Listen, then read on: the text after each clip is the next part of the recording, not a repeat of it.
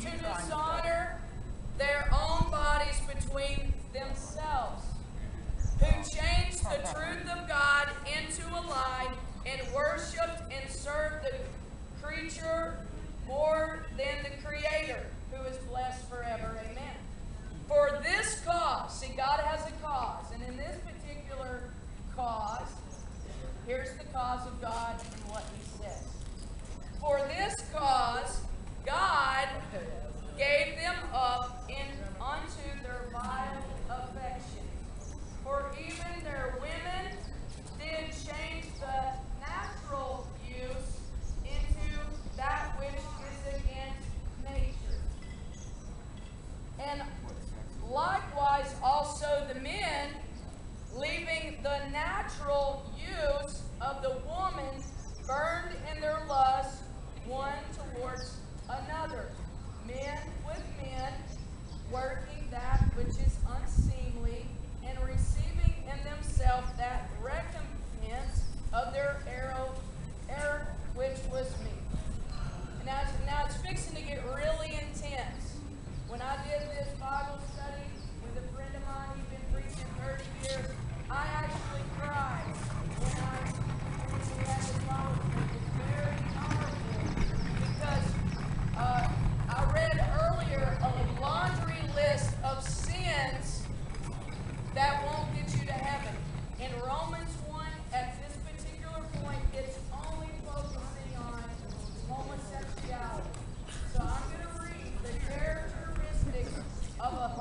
sexual parts.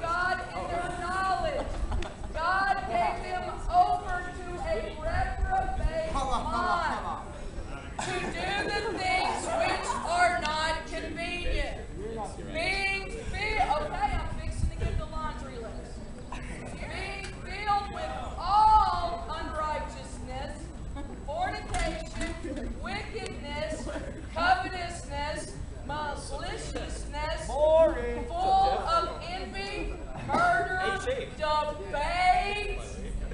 debate.